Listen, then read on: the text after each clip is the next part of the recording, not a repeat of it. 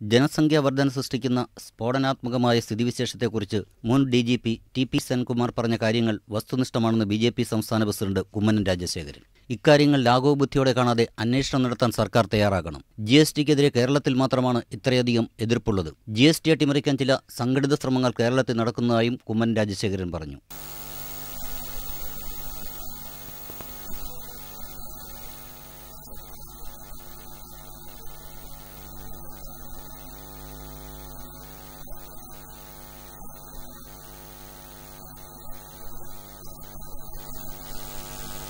G S T നടപ്പാക്കുന്നതിന് മുമ്പ് ധനമന്ത്രി എതിർപ്പ് പ്രകടിപ്പിച്ചിരുന്നുവെങ്കിലും കേരളത്തിന് ഗുണകരമാണെന്ന് ഇപ്പോൾ അദ്ദേഹം തിരിച്ചറിഞ്ഞതായും കുമ്മനം കൂട്ടിച്ചേർത്തു.